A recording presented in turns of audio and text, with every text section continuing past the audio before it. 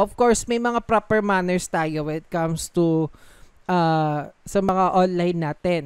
Kaya tayo um, on the, this topic which is netiquette. Okay? Yung netiquette, uh, parang etiquette, 'di ba? Kung narinig na rin natin noon, etiquette when it comes sa escalator. Sige nga, kung nare-recall nyo, pag pupunta kayo ng escape, ano ang etiquette pagka sa escalator? Sir, um, ano po, uh, always step on the right po. Step on the right. Ano yung sa right? Ano yung sa left? Uh, sa, sa right po is yung pag hawak po din sa left po yung mga magmamadali po mga maglalakad. Yes, tama 'yon. Tama si Franz, 'di ba? Uh, pag pagka pag left tayo, so you have to walk and the right uh, syempre you have to you stay lang kung talagang gusto mong naka-stand standby lang. Okay? Um kumbaga yan yung etiquette para syempre makikita yung proper na yung traf- flow ng traffic ng mga tao. Okay? So again sa mga humahabol ngayon, uh, ko, uh, please paki-message na lang sa paki-message na lang po sa group page natin, sa group sa group chat natin, no. Tatlo ata sa apat yung humaba. Paki uh, repl- paki-message na lang po with your full name. Okay? So tama 'yon sinabi ni Franz kasi 'di ba etiquette when it comes to the escalator. Kasi nga uh, para maging free flow yung mga tao. Yung iba nagmamadali, yung iba kung gusto mong naka-relax lang, no? Pero may mga ibang tao na hindi pa rin alam yung etiquette escalator, no? Pero ngayon, ang etiquette natin, um, pag-uusapan natin when it comes to the online world. Kasi nga, we are now in the internet. And maraming taon na na tayo ay nakababad na sa pamagitan ng internet. So, lahat ng mga millennials hanggang Gen Z, eh, talagang napaka madunong na pagdating dito sa internet. Pero syempre, kailangan natin alamin yung mga ethics, yung mga dapat na manners na dapat nating gawin. Hindi basta-basta, hindi tayo nakaka-offend, hindi tayo nakaka, nakakabastos, o hindi tayo nakakapag compromise ng ibang tao. Kasi tandaan ninyo na kahit sabihin natin we are in the online world, syempre may mga factors tayo. Number one, culture, gender, nationality, um, yung preferences natin, any kinds of preferences so that we have to deal with it. And at the same time, we have to respect uh, each other. Kumbaga po, pasok pa rin naman yung humanity when it comes to the etiquette in the, in, in the online world. But of course, napakainit ngayon ng ng Facebook, ng social media because of the political uh, races, 'di ba? Political point of view no uh, most of the people nakakalimutan na nakakalimutan na yung ma, uh, ethics or yung netiquette na dapat gawin para ma-broadcast sa social media, ma-broadcast sa media, and so on and so forth. So, let's start with uh, our topic for the day, which is netiquette. So, what is netiquette, by the way? This is for short for the network etiquette. Okay, network, uh, internet cloud. Okay, uh, connection with other people is the name given to the set of rules and guidelines how to properly behave online. Paano ba tayo um kumbaga how we behave ourselves, how we uh, pro- uh, promote ourselves, how we present uh, ourselves, okay? So yun yung uh, tinapatukuyan when it comes to the network etiquette, 'di ba? Online tayo. Kumbaga sa tao naman, 'di ba, meron tayong etiquette na um, syempre magmano, magsabi ng po at opo, at yung, syempre ngayon, meron tayong etiquette when it comes to the COVID-19, di ba? Magsusuot ng face mask, magsusuot ng face shield, mag, uh, mag-physical distancing, ayan, yun yung etiquette ngayon na kailangan sundin, protocol. Uh, etiquette is also a protocol, di ba? How we, uh, how we obey with this uh, guideline, no? includes proper manners for sending email. So, familiar ba lahat sa email? Nakapag-construct na ba kayo ng email? Yes po. Yes, yes po. Yes po, sir. 'Di ba? Uh, how we uh, how we able to write uh, or compose letters or wordings when it comes to the email. Kasi ngayon, ang email niya is used for the professional work. Lalo na pagka, syempre, inquiries lahat, no? mostly email. Conversing online and so on when it comes to, to social media, live streaming, uh, etc. etc. Most like traditional etiquette which provides loose and conflict in social situation. It involves kasi social. Uh, sabi ko nga, humanities, people, uh, with different kinds of preferences. Kaya, kaya syempre, meron pa rin etiquette na tinatawag dahil ayaw natin na makompromise yung bawat isa sa atin based on our preferences. Okay. The purpose of this etiquette is to help construct and maintain a pleasant, maging maayos, um, maging panatag, komportable, at episyente, maayo, uh, episyente, epektibo, yan, uh, functional. To maintain a, um, to maintain uh, saan ba ako? An efficient environment for online communication as well as to avoid placing strain on the system and generating conflict among users. So ngayon, hindi natin alam no marami hindi kasi 'di ba natanong ko last time kung sino ba dito nagawa may gum, naka, may gumawa sa inyo ng dami account? Or uh, gumamit ng mga alias na ginagamit yung mga information ninyo, mga pictures ninyo that it can be used today para, alam mo yun, makapambash ng ibang tao. And at the worst case scenario, binabayaran itong mga tao to para lang makapag-troll sa mga comment section, mag-post ng mga fake news, and so on and so forth. Kaya napaka-importante na may etiquette. Kasi para nalalaman natin, uh, tama ba tong ginagawa niya? Tama ba magkomento ng ganito?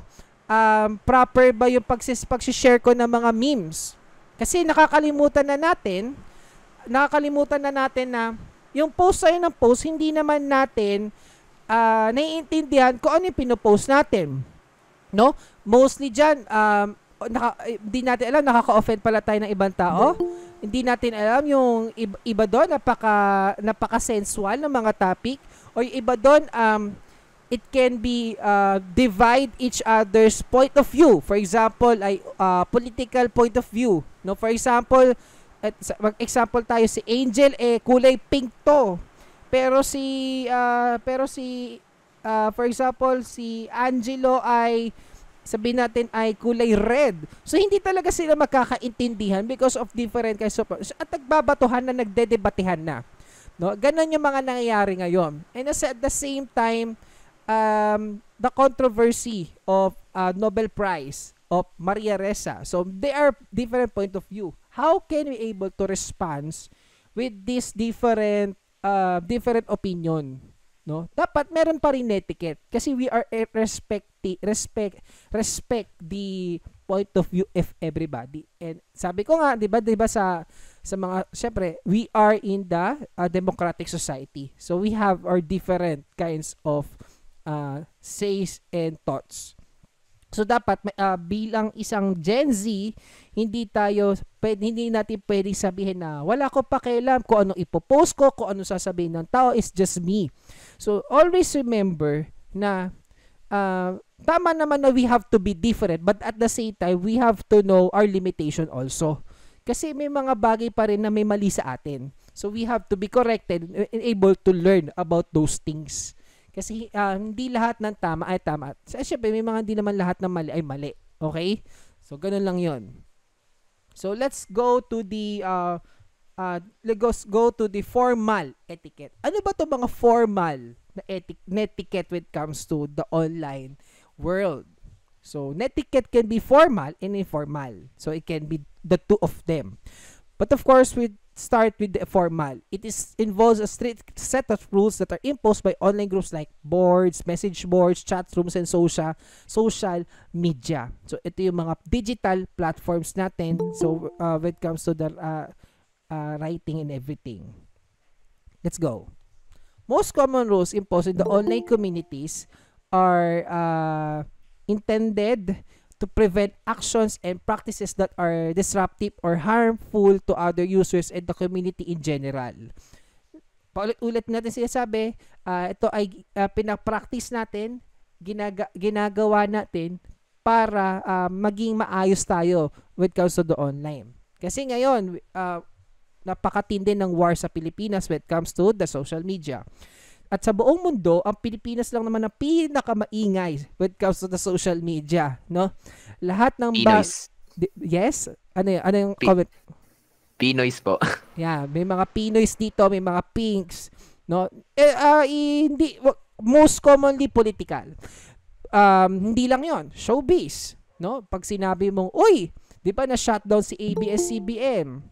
O, tapos sasabihin nila, I'm loyal to be a kapamilya.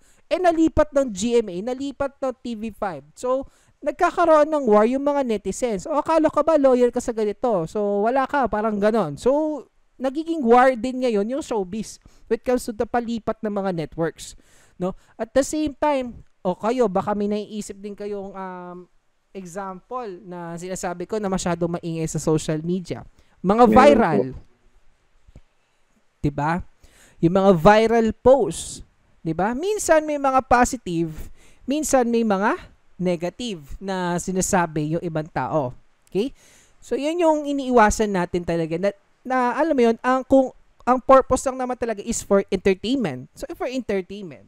Okay? Um, the following examples of such action. So, let's start with the foul languages. No? Uh, we know that more people use um, videos, uh, text, or everything, hindi mawawala ang mura. Ang puto kotsinta, um, lahat ng puto kotsinta gusto ilagay sa social media. 'Di ba? From YouTube, no? Lahat ng puro mura, no? 'Di ba? Ah, kilala niyo naman si Oh, 'di ba? Oh, 'di ba? Puro ah, mga yung mga content niya puro puto kotsinta. Okay? Dapat maiwasan natin 'yon sa social media. Yung pagpo-post ng mga mura kasi ah, pagdating kasi sa guidelines talaga, may community guidelines din na FB. Actually, si Facebook mahigpit sa community guidelines. So, isang mali mo lang, pwede kang ma, na-suspend yung account mo.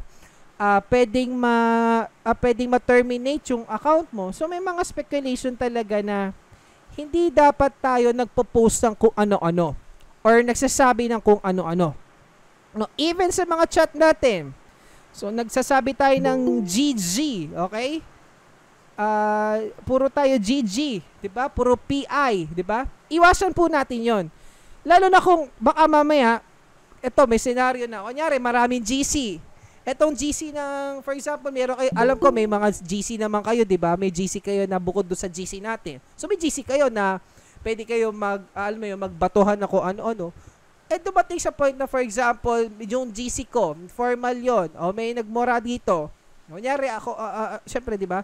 Ah, it's offending, no? Nag medyo na wrong send ka though hindi mo naman intention mag-send ng ganun doon sa ano dahil doon mo dapat ipopost sa ano. So magkakaroon ng dispute with that. Okay? So, this is a common informal setting the corporate and academic website. Okay? Lalo na pagka sa, yan, sa dito, sa GC natin, nagme-message tayo ng ganun. Um, syempre, ah, bilang respeto sa mga teachers, sa mga staff, na, sa mga staff. Syempre, pag nagtatrabaho kayo, kunyari, nag-email ka, di ba? For example, lang i-email mo yung kaibigan mo, sila bigyan mo ng mm-mm-mm. Pero na-send mo sa boss mo, tapos walang remove. O, di ba? Ano yun, ah, ano na yun, 'di ba? Medyo off 'yon, 'di ba? GG 'yon, 'di ba sa part nyo. Kasi um dapat hindi naman talaga nagbumura sa social media at hindi rin naman nagbumura through mga videos. No, iniiwasan dapat 'yon. Yan, mga fa- even, hindi lang naman yung mga mura, mga offensive words din na sa tingin ninyo na maaring sa atin normal pero sa ibang tao for, um, when it comes to their cultural bawal yon so wag nating gagawin yon kasi may mga bagay na okay sa atin pero hindi okay sa ibang tao. So always consider the other people. So wag natin isipin na yun nga yung sinasabi ko kanina na wala pa tayo pa sa sinasabi ng ibang tao. So ang, ang ano doon, ang iniisip natin doon yung sarili natin, hindi natin iniisip din yung kapakanan ng ibang tao. So don't use foul or offensive languages to the people. Kahit kapwa mo Pilipino. Of course, next is spamming spamming na discuss na rin natin to with comes sa internet mostly mga yung mga advertisements yung mga pakulong hindi natin too good to be mga too good to be true okay and the same time sinento sa pinakamaraming tao no? For example, nanalo ka ng 500,000 mula kay Kuya Well. Uh, 'di ba? So hindi hindi ka maniniwala kasi uh, may show si Kuya Well, 'di ba? So spamming. So the spam is a wanted unsolicited message or email. So yung mga spam na to or hindi to address sa mga addresses mo, um, hindi nakalink to sa mga personal information mo. So, uh, therefore, papasok to sa spam. Hindi to papasok mismo sa main thread mo unless pinidbudot mo siya as na spam kasi you, you recognize that this is not a spam.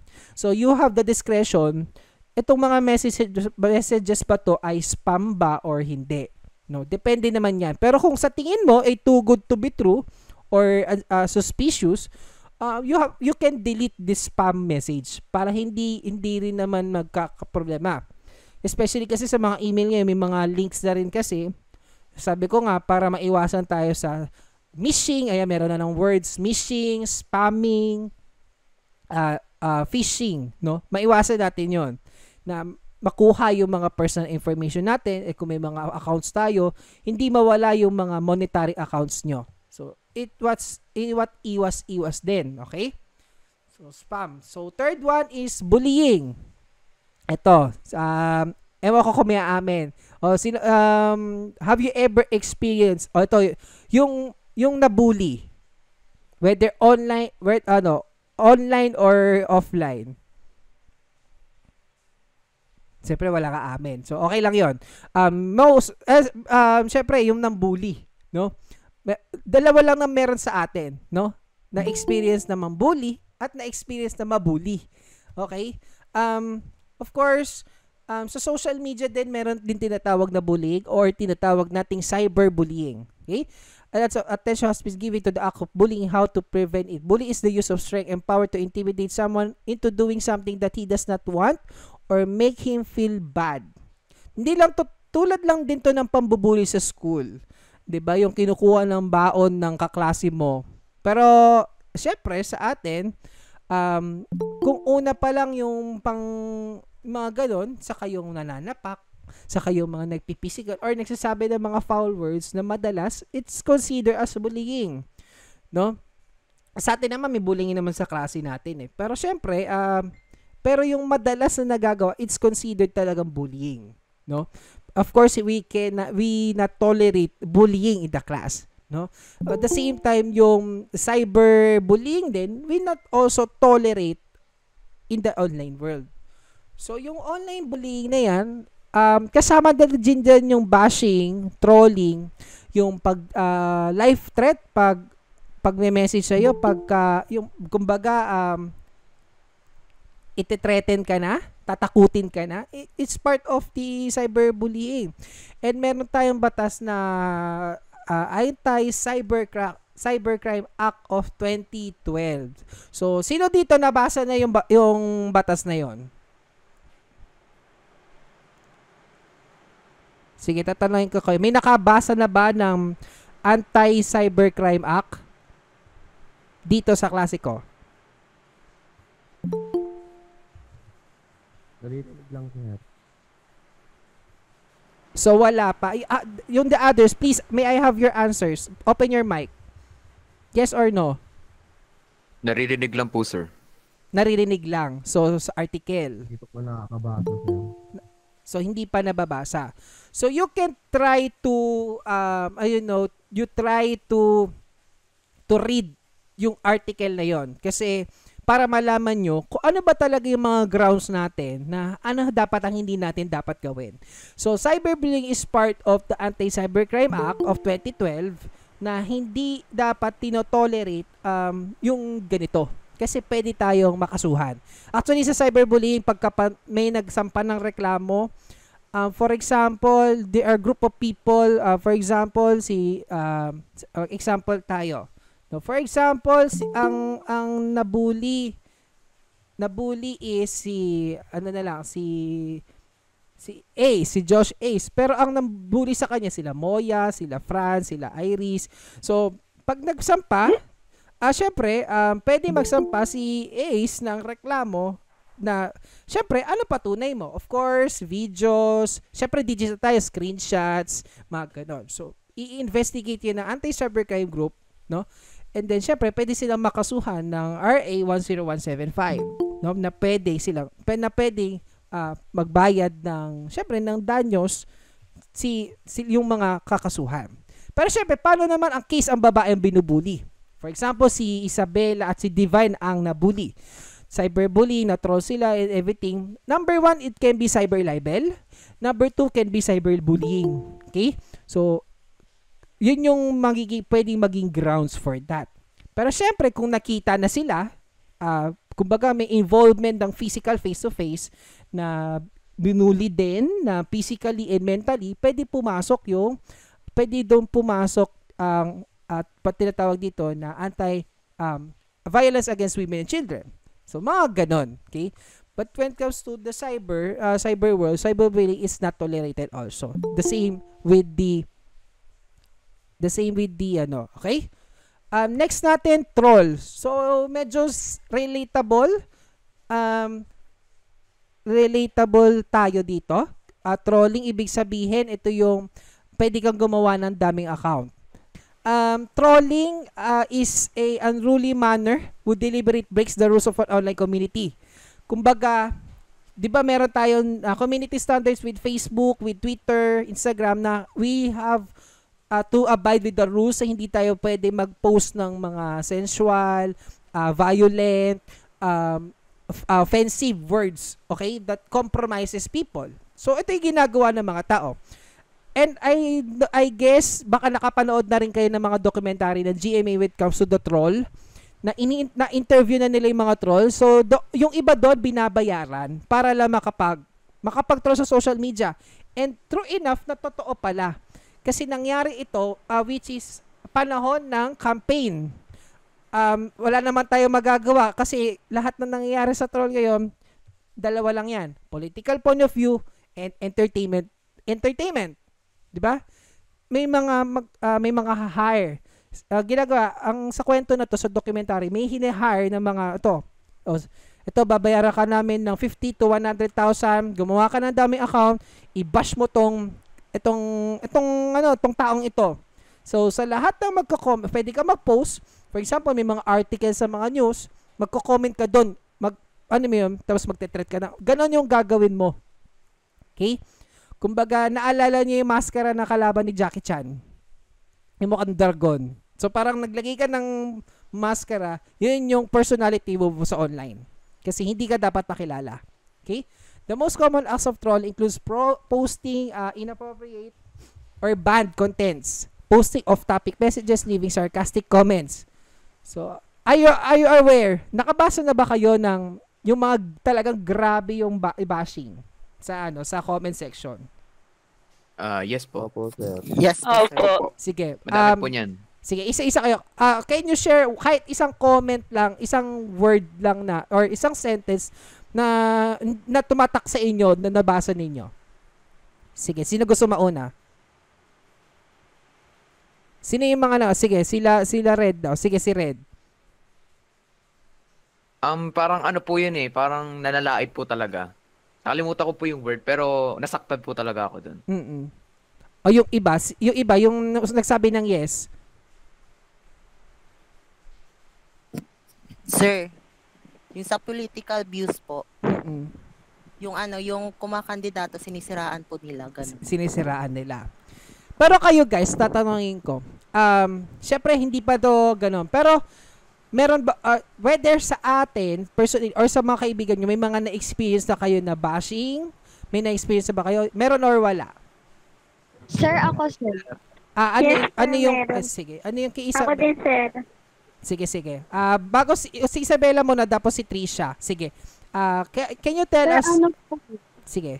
Um, grupo po sila sir. Grupo po din, nag-post po sila sa FB. At dami po nila sir. Then, ano, puro po hate comments. Sabi po, ingitera daw po ako, ganyan-ganyan. Mm. More on, sir, madami po eh. Parang ano, talagang nang-bully po talaga sila. Mm. Then, hindi na lang po nag-push charges. Hindi na lang po ako nag-report. Mm. And di na rin po gumawa yung school ng paraan. Mm. Kumbaga, pero ah, kilala, pero may hint ka na sino nakilala mo ba to or or talagang ibang tao lang yung nag-comment. Hindi sir, mga kaklase ko po. Ah, mga Nung- kaklas. Mm-mm. Opo, nung sa school ko po last last year. Mm, so on, more online din yung nangyari. Parang nambabash, Um, um, face to face po. ah, face to face. Pero po nag-post po sila sa Facebook. Sa Facebook din. Actually, Yes. um, yung mga ganyang cases relatable din yan eh. Actually, sa iba din namang school, may mga cases na, actually ako may experience ako. I have a student, there is two Indian citizen, two, two Indian nationality, and masak, ah, yung mga kaklase niya, yun, inano din sila sa, na post pa sa, na post sa social media, and then may mga comment section. Um, usually uh, sa sa amin kasi sa branch kapag may nakatunugan na kami so nalalaman agad and nare-report agad and napatawag namin sa office uh, between two parties. Kasi syempre um, it is bad for the part na nasa cyberbully tayo. That at the same kung sa face to face hindi mo pinapansin hindi mo nabubully face to face pero sa online mo na face to face kasi ang mga tao ngayon mas matapang online mas matapang sila magkwento ng mga kalokohan nila online, no? Sige, next natin si Trisha, yung kanina. Ano no, is yung sa'yo naman, ano naman yung story mo? Sir, sa akin po kasi madami. Um, nung ano po ako, high school, um, ah, kasi nga, gawa po sa height ko, Mm-mm. yun po. Then, then ano, um, nagpo-post po sila sa Facebook nung ano, parang, parang may nabangga lang po ako na ano, na guy. Tapos Mm-mm. bigla siyang nag-post na sabi daw, maliit ka lang pero ma mayabang ka na, ganun. Mm-mm. Tapos, yung, ano po, yung one time po na, ano, na, yung mga kaibigan ko na, ano, pumunta po kami sa church. Tapos, nagkatinginan po kami ng masama. Tapos, ano po, inabangan ko yung mga kaibigan ko na sa labas. Then, in, hindi nila alam na, ano, wala ako doon.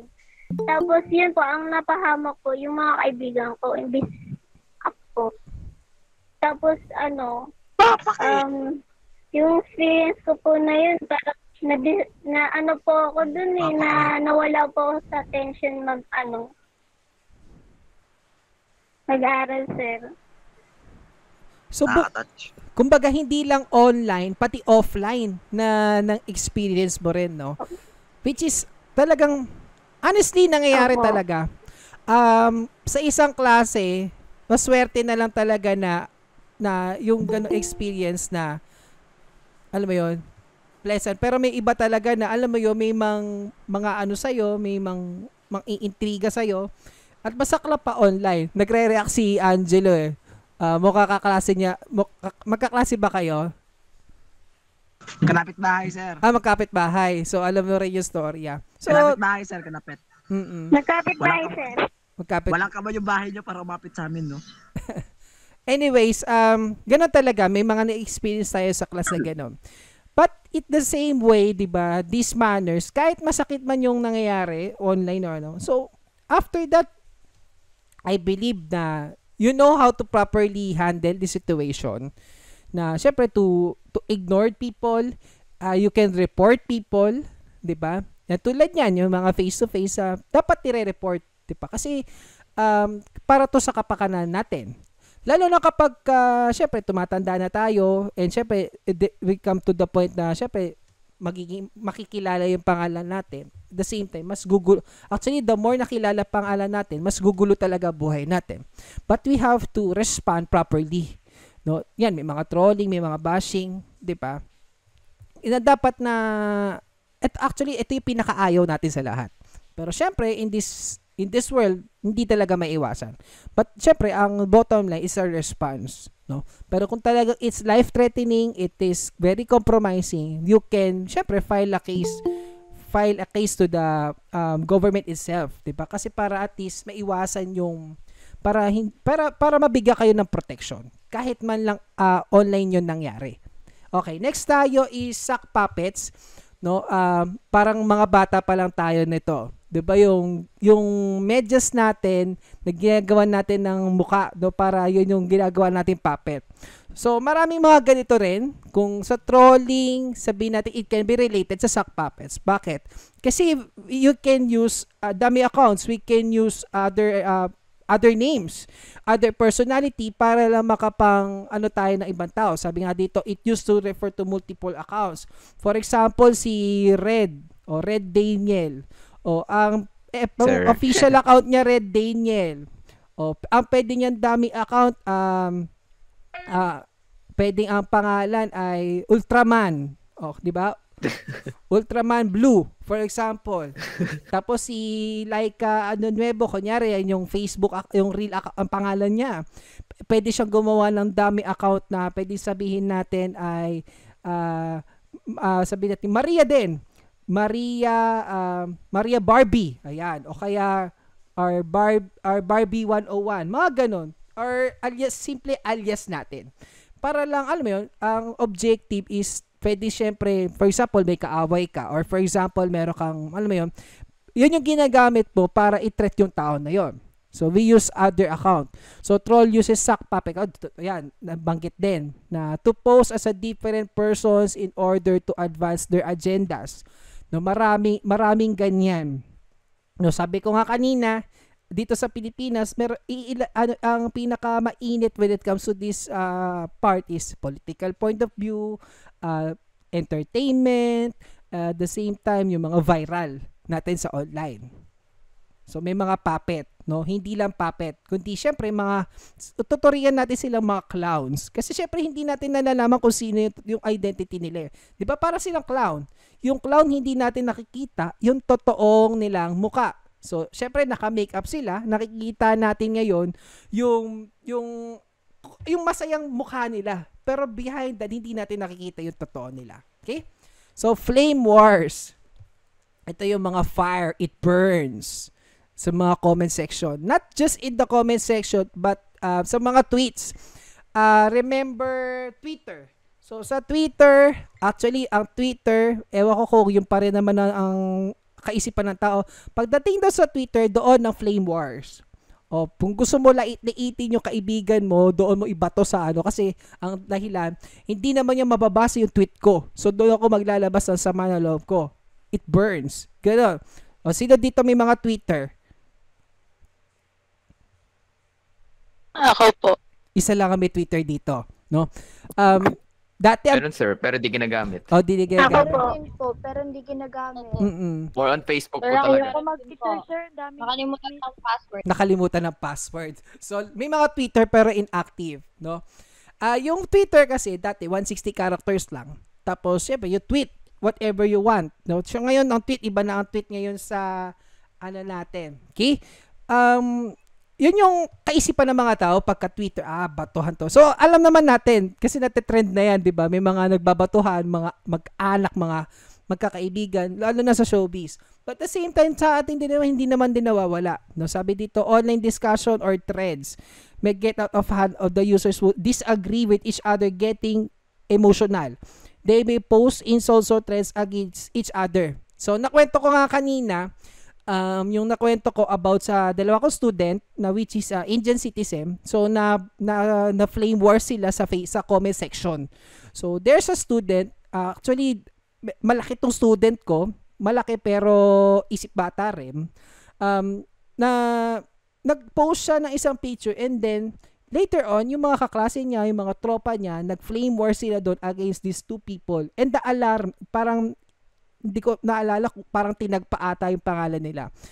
Um, that's very alarming, no? Na dapat na iwasan din yung ganong conversation. Um, na which is very violent and very um, offensive.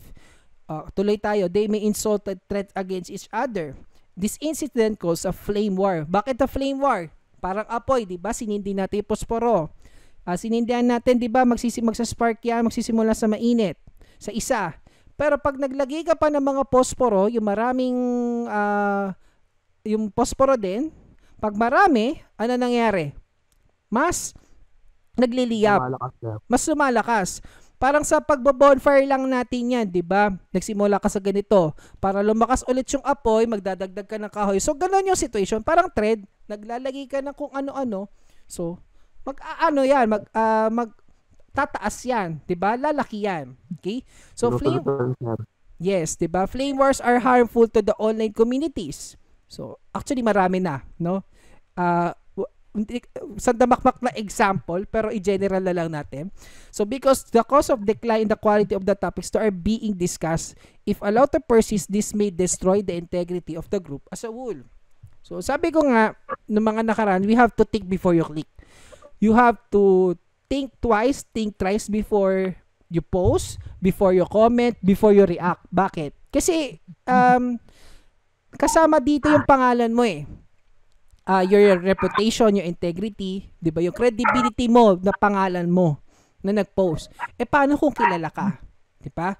Pagkakilala ka, sirang-sira ka talaga. Kasi um, you you are not uh, you are not aware on what you are doing. Pinost mo lang kasi gusto mo lang. So sabi ko nga 'di ba, nakaraan sabi ng isang author, kaya mo ginawa to because you have intentions. So sa flame war, Kapal na mukha. Kapal na mukha. ano yun? Pakimute mo na, pakimute mo na. Hello. Oo, sino daw yon? Anyway, tuloy tayo. Basta man. O, tulad na lang yan, sabi niya makapala mukha. May mga gano'n sa Facebook ha, may nagko-comment. O, kapal naman ang mukha nito, uh, suplado to, mayabang to. Legit, di ba? May mga nag or sabihin natin may mga iba na uh, uh, ito, pag pinupost sa social media yung ano, achievements na, sasabihin nito, yabang naman nito, kapal ito, sige ito, hindi naman ito nagpapautang. Oh, Tapos nagfe-flame na, di ba? Sinasa yung, yan yung sinasakyan. Hanggang sa, ano mo yun, hanggang sa lumaki yung issue. So, yun naman ang purpose ng frame wars. Okay? Next tayo. Uh, breaking these rules may result to the warning from website or group administrator. An administrator or admin is a member who is tasked by monitoring activity and imposing the rules. Usually sa Facebook kasi dahil since billions of people na, uh, may mga nakalagay na may mga AI na sa FB, may mga kumbaga machine problem na sa FB kapag na nakita nila ganito. So uh, i-detect na ni FB yon at the same time bibigyan na siya ng warning. For example, ganito na lang. Di ba nagpa-post tayo sa FB tapos ginamit natin yung kanta? Copyright, sir? Oo, di ba? Nangyari. Magugulat na lang tayo. Uh, this video has, has been, been uh, has, has a dispute. The video has been muted, whether delete or submit dispute. So, dinedetect na ni FB ngayon. Um, may ma- hindi na siya, kasi syempre sa sobrang dami, hindi naman kaya naman power yan. So, may system na dyan for that. May machine problem na dyan, may, may AI for that. So, that detect niya yung mga ganung mga tundog and everything. Pero syempre, if it comes to the review pa rin yun. But the same time, may mga tao pa rin naman, syempre hindi nawawala yon na kung itong mga tao ba nasusunod ba yung community guidelines ng Facebook. So, po yun na yung example yung copyright na nga na yun. So, ganun pa lang. How much more may mga nagsasend na mga offensive, may mga nagsasend.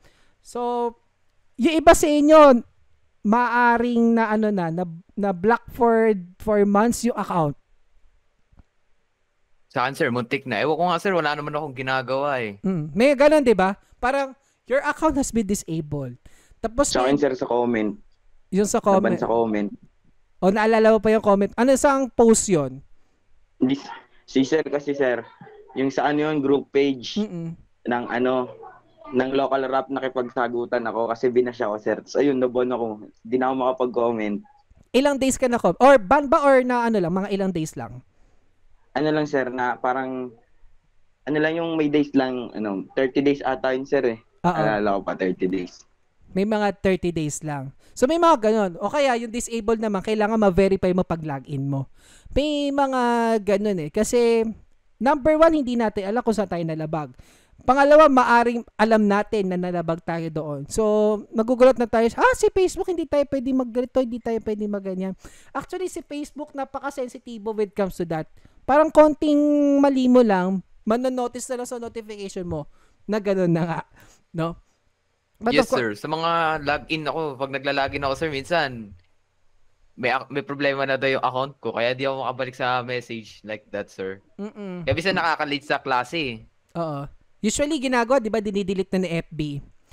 Tapos may na-encounter din ako na this account has been blah blah blah because of blah blah blah blah mga ano mga sensitive daw so okay so ano um parang inano lang na inform lang pero may iba naman na disabled 'di ba pagka login mo kailangan ma-notice mo yung comment ma-notice mo yung friends mo para talaga ma-open yung account mo so may mga ganon actually may mga ganon so si admin ah siya yung nagpapa-implement na when it comes to the monitoring of the syempre ng mga comments and everything. So sabi ko nga since napakarami, syempre may mga machines na 'yan. Pero kung maliit lang yan na community, for example, you have a forum, you have a ba tinatawag natin, support systems within the system, of, kung ito lang, limited lang, you can monitor with that, no? Ito yung sinasabi niya, um, you give uh, sanctions with that.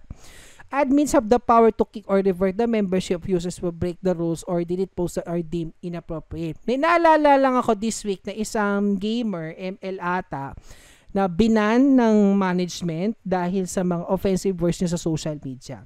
Na kahit hindi lang doon sa social media, since syempre kilala siya, mayroon siyang hinahawa, may hawak sa kanya na gaming agency, na may hawak din siyang mga endorsements, of course, tinanggalan siya ngayon ng mga ganong privileges because of that kind of wrong etiquette, wrong uh, ethics when it comes to that. No? Kahit sabihin natin hindi lang sa social media, but also it affects in the society. Actually, marami na yan. Meron pa nga last year. So, binan siya ng isang, binan na rin siya, tinanggal na rin siya doon sa, sa team na yon tinanggal na rin siya doon sa, parang gaming, yung humahawak sa kanya, parang handler na gaming, ano. And the same time, tinanggalan na din siya ng, uh, ad, ng advertisement or ng privileges na maka, parang endorser whatsoever. So, mga ganon. Kasi hindi lang naman sa online nagre-reflect yon It also reflect, sabi ko nga, nagre-reflect yun sa sarili mo, at nagre-reflect yun in the whole community. Kasi nakikilala ka eh. Nasisira yung pangalan mo. Kaya yun dapat na iniwasan. Kaya tinuturo tong uh, topic natin. Of course, next natin, plagiarism. So, plagiarism, okay. So, uh, ewan ko kung may mag-admit dito. Lahat naman tayo, uh, hands up tayo dyan, nakaranas mag-copy-paste sa Wikipedia. 'Di ba? Oh, sige. Opo, ah, sir. 'Di ba? Opo, sir. Yes. Oh, walang hindi dito na ay hindi naman ako nag-copy-paste sa Wikipedia. Ay hindi naman ako nag-copy-paste sa or any encyclopedia or research paper. 'Di ba? Uh, marami, no? Or eto pa, kinapi-paste lang, tin-translate lang pero hindi binago yung context. So, may, may kilala kayong ganyan, no? Uh, plagiarism is the practice of using someone else work as if it's yours. For example, merong research paper si for example si ano na lang si Crystal. May research paper siya. So na-publish at syempre pina-plagiarism check niya. So ibig sabihin 100% na original work niya yung research paper.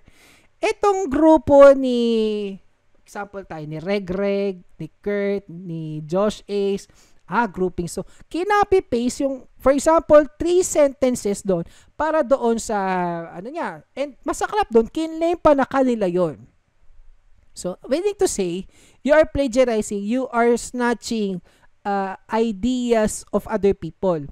Hindi to nalalayo sa theft at robbery. Di ba? Theft at robbery or estapa. Saan? Copyright. Di ba? Kinukuha uh, uh, mga akyat bahay. Kinuha mo ngayon yung mga gamit sa bahay at ilangkin mo na hindi naman iyo. Tama? Or yung pera na tinak uh, na tinakbo mo sa mga nag mga nagbayad sa iyo, tapos tinakbo mo yung pera. Na pera nila na hindi mo naman pera. So parang ganoon din naman sa intellectual property. Um, yung for example, ito na lang, plagiarism is the practice of using someone else's work as is yours. For example, akin yan tapos ninakaw ni, no, ninakaw ni Crystal, for example. Inangkin niya yung sentence. Eh, gawa ko yun eh. Uh, or quotation ko yun eh. So, therefore, pwede kong sampahan si Crystal lang. Uh, uh, pero syempre, sa Pilipinas, hindi pa ganun kalakas yung... Kasi nangyari na to kay Senator Tito Soto na isang, may isang siyang quotation in English na tinranslate lang in Tagalog. So, ang lumabas ngayon na plagiarize yung sinabi niya hindi na kahit sabihin mong tin-translate lang siya sa Tagalog, it does not mean na na iba na yung statement. Eh may mga tao syempre nag-critic, nakita yung quotation, may nag-research.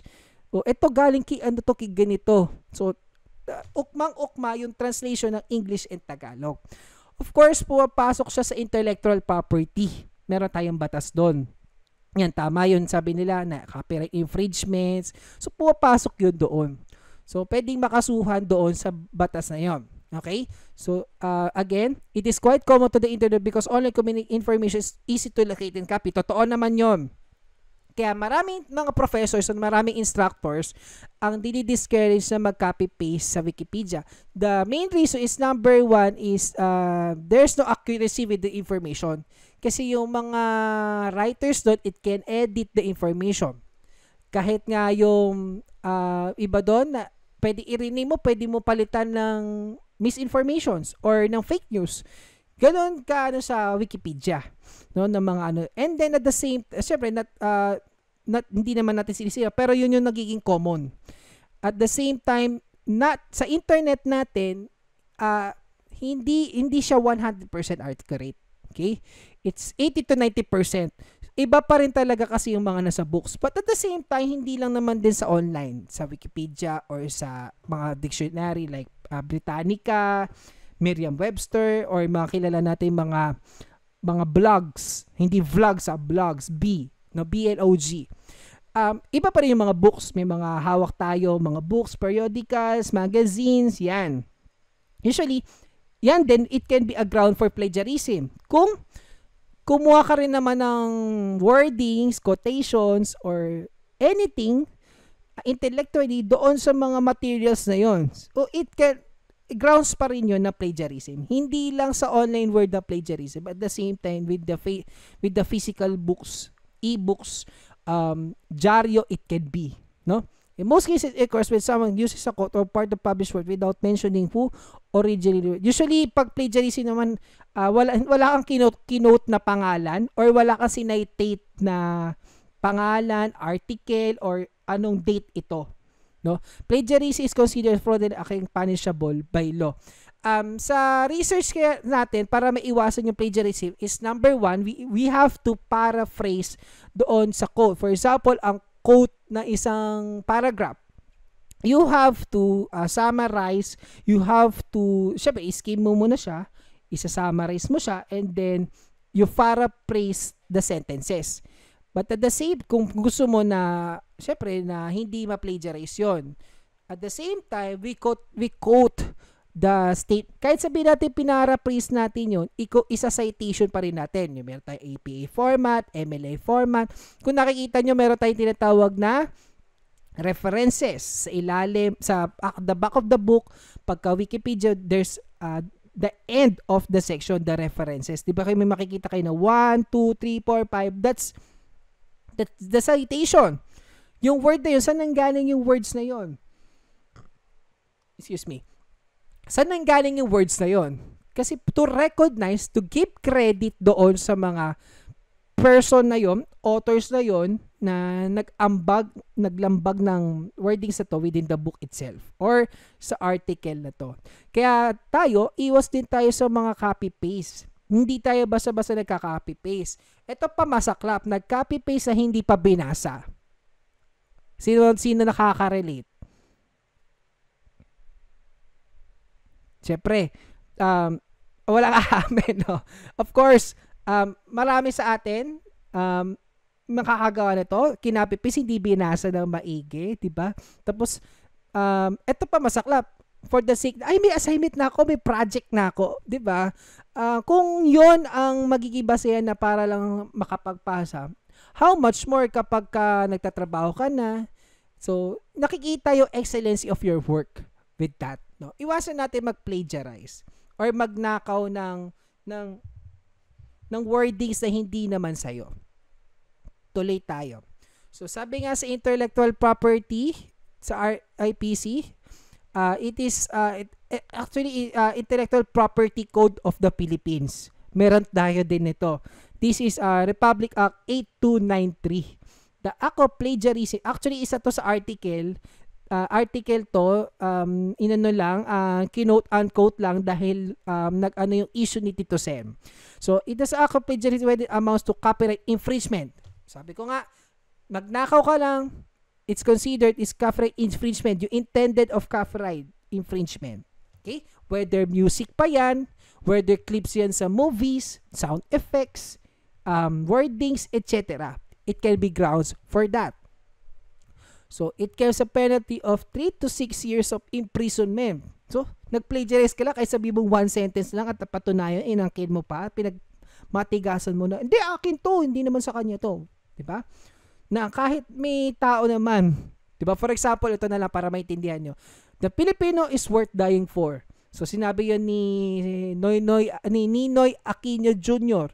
Eh inangkin ni ano, inangkin ni Red, no? Sample ah, ito din 'yan, sa akin din 'yan. So pinagmatigasan mo, talagang makukulong ka talaga for 3 to 6 years.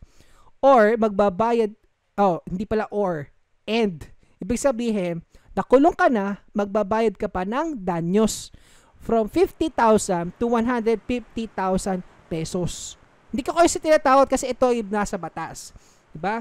Na magnakaw lang tayo ng article, magnakaw lang tayo ng quotation ng isang tao at pinagbatigasan natin pwede po tayo makasuhan. At nakasalali at nakaantabay po si NBI. So si National Bureau of Investigation sa atin kasi uh, when it comes to the intellectual property, may mga intelligence yan, no? Makikita talaga, mag-hunting yan, mag-investigate na ito. Hindi lang mga pulis yan. Mga NBI din. Kasi syempre, titignan ng mga anti-cybercrime uh, mga group, yung mga uh, part din sila doon sa intellectual property. So, pwede tayong i-hunting, no? Kung pagkatotoo nga yan, iuhulihin talaga tayo at magbabayad ng danyos. So, iwasan natin. So, it's under the Cyber Protection Act, uh, the penalty is degree more higher. Kasi kaya nabuo din yung Cyber Prevention Act kasi hindi rin naging sapat yung RA 8293. May mga, syempre, dahil nga nasa online world, may mga bagong modus operandi na nangyayari. So, in, may update when it comes to that, that, that kind of law na mga coverage, no? Tulad ng I Love You virus, wala pa namang Anti-Cybercrime Act para sa hacking, sa fraud, fraud, online fraud. So wala pa that time, noong 2001, 2000, kaya walang kaso na maisampa doon sa tao na yun na gumawa ng I Love You virus. Pero kung for example nangyari noong 2012, 2013, 2014, ginawa niya kunyari I love you version 2.0 na virus. So pwede ka makasuhan ng RA 10175. At syempre dahil malaki ang danyos not for example, hindi lang buong, buong mundo or buong Pilipinas na lang, malaki ang danyos. Pwedeng maging milyon ang danyos kasi malaki ang nawala. So depende yan sa sa court pa rin yan kung magkano yung nadanyos mo at nasira mo because of, what you are doing. Pag plagiarize man lang, mag-online fraud and so on. Okay? So, example, itong issue ni Tito Sen na tinagalog at in English lang yung version ng quotation ni Robert Kennedy. Okay? To, to, to have the background with that. Next is piracy. Pamimirata. So it derived from the word do, sa derived from the procedure or ginagawa ng mga pirata sa barko, no? Uh, lalapit sila sa mga barko para nakawin yung mga uh, mga shipments ng mga barko. Kukunin niya and syempre uh, pang-hostage na rin ng mga staff ng mga barko no na ihahunting nila. That's the concept of piracy. The concept of piracy, syempre, when it comes sa uh, digital world, yung pang pangkukuha ng mga movies, music, books for the intent of distribution illegally.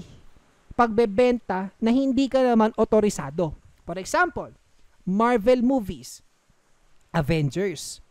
Avengers Endgame, of course, available sa sine. Eh nakita mo ngayon sa isang website, dinownload mo ngayon. Tapos ito pa masaklap, in-export mo pa sa DVD, binenta mo pa sa mga tropa mo. O, 50 pesos ito, endgame. Eh, nakilala ka. Nag-produce ka pa ng marami. Binenta mo sa iba, hindi ka authorized. Pwede kang huntingin ng NBI. Pwede kang huntingin ng optical media board. Na, namimirata ka ng movie. So, ano ba ang concept ng pamimirata? Pag namirata ka kasi, kumita ka, yes. Pero kumita ba? Kumita ba yung mismong producer, yung nag-distribute ng pelikula? Yes or no? No. No. No po. No, di ba? Ito na lang, para mas pababawan natin. For example, isang sport brand. Sport brand na sport brand na kilala nyo. For example, Nike. O Nike. Eh may nakita ka sapatos ng Jordan. Jordan 1. Eh ang presyo niya ay 7,500. Dahil hindi mo afford, syempre pag hindi mo afford, saan ka pupunta? Sa mas mura. Sa mas mura. Sa mga peke. Sa mga class A. Meron pa tinatawag, Di ba may, may mga tinatawag, ewan ko yung mga basketball player, kabisado tong mga gantong klase. Meron tayong tinatawag na Class A. Class A. Meron tayong tinatawag na refurbish. Meron tayong tinatawag na, ano ba bang ang mga alam nyo? Replica. Replica. O, di ba? May mga ganon. OEM authentic. O, EM, et, hindi ko alam kung ano original doon. Yung galing ba sa factory or whatsoever. Pero, let's consider it's not part of the original from Nike. For example, nabiri mo sa Cartimar. May mga nakapunta na ba ng Cartimar dito? Wala pa kasi Laguna, no? Meron, sir. Meron na sa Pasay, 'di ba? O yung mga sasakay ng ano, Alabang to pa, to MOA, 'di ba? Tapos pupunta ka Cartimar. Marami doon, 'di ba? Hindi lang naman Cartimar, Divisoria. 'Di ba? Ma- ah, may mga bibili ng mga mga ganito. Syempre, syempre namimirata ka na ng sapatos. 'Di ba? And the same time, kumita ka. Kumita ba si Nike doon sa mga nabentang mga replica class A o E and whatsoever? Hindi po. Hindi. Kasi, syempre, kasi naggaya na peke ngayon yung mga gamit. At the same time with the digital platform, e-books, movies, music, 'di ba? Na ginagamit natin for our own interest para kumita. Ba? Basahin natin. Is a piracy is act of producing and distributing materials without the owner's consent. Kasi ganito yan ah. Sa larangan kasi ng ng media ha, yung movie, syempre, kung for example, ginawa ng Star Cinema, ah syempre, milyon-milyon ang ginastos niyan eh. Yung producer, yung, syempre, yung mga setup from, from start to end, from planning hanggang sa pag-ere sa sine.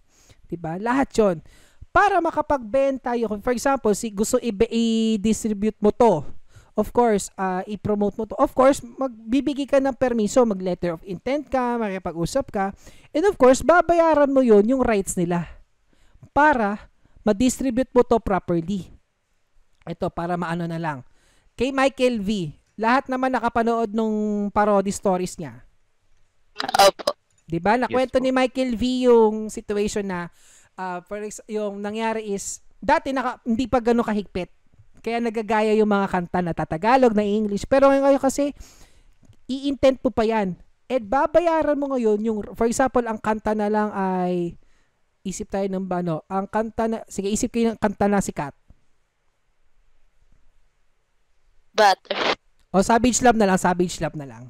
Si Jason Derulo. For example, gagawa ni Michael B ito ng parody, na Filipino parody. Of course, lalapitan niya yung management, yung nag-produce ng music na yon. Okay? Sa US. And of course, magbabayad siya. Actually, hindi lang yan gasingko, guys. Malaki pera yon halaga.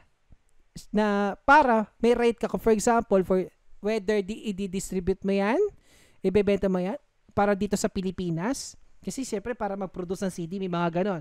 Or syempre kung par- sabi ko nga kung parody yan, syempre babayaran mo yung rights para makagawa ka ng version mo kasi syempre ibebenta mo yan, i-distribute mo yan sa mga digital platforms at syempre pagkakakitaan mo. So lahat dumaan sa legal na basihan sa Parang papers. din sir ano sir, hayaan mo sila sir ng Ectotalion sir. Mm yung ex-battalion. Siyempre, binayaran din naman yung ex-battalion kahit sabihin mo Filipino. Pero siyempre, dito sa Pilipinas, iba naman kasi yung regulation. Pero siyempre, pag international, for example, um, yung mga albums ng BTS, ayan. So, so hello sa mga ARMY dyan. Yung mga BTS na, na album, ha? Siyempre, yung iba binibili pa sa Korea. 'di ba That's expert. Siyempre, may Opo. access din. Pero for example, um, kunyari, ang Viva, uh, Viva Records, gusto nilang magbenta dito ng mga BTS na album. Siyempre, mag ano sila sa BTS sa music agency doon sa South Korea na gusto namin ibenta, mag-distribute sa Pilipinas ng mga BTS album. Of course, magbabayad sila ng ng pera na milyon-milyon o billion man yan, basta milyon para lang may authority sila na mag-distribute at magbenta ng BTS sa Pilipinas para mais maikalat pa sa from Batanes hanggang Hulo yung BTS album. Kasi syempre hi- hindi lang man lahat ng tao alam ang BTS. Dahil sikat ang BTS, syempre, may mga distributor sa Pilipinas na mag-i-intend talaga na magbenta ng mga album dito sa Pilipinas para mas makilala yung mga artists.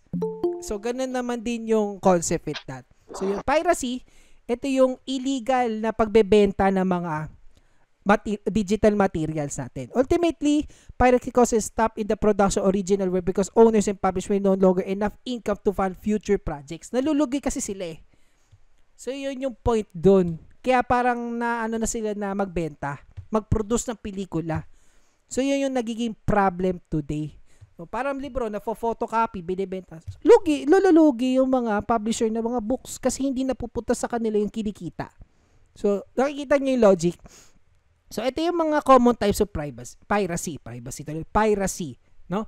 Based on UNESCO's World Anti-Piracy Observatory. So, libro number one, ay pwedeng pumasok si plagiarism, uh, pwede rin pumasok, syempre, kinuha doon, but, pero dito sa concept ng piracy kasi is, um, yung librong ito, kino, pinotocopy mo. Uh, pumunta ka sa isang recto university. Uh, photocopy mo nga to, i-produce mo ng 1,000 kopya, ibenta natin. Wala kang authority doon sa publishing. Therefore, wala kang author- authorization, pwede ka makasuhan. Or pwede naman iscan mo nga to tapos i-ano natin, i-ebook natin ito. Or kung may masipag ka na nag-encode, i-type mo to lahat tapos ano natin. Or magaya mo to whatsoever. Or mga PDF copies na dinownload mo. Oh, benta nyo to, ano, uh, 100 pesos. Pirata, pamimirata yon kasi wala kang authorized doon sa mismong publisher. 'Di ba? Walang copyright, no? Copyright infringement. Next, music. Uh, music piracy involves uh, traditional unlawful use of music and unauthorized use of music on online communication. Ito na yung madalas sa atin sa Facebook or sa YouTube.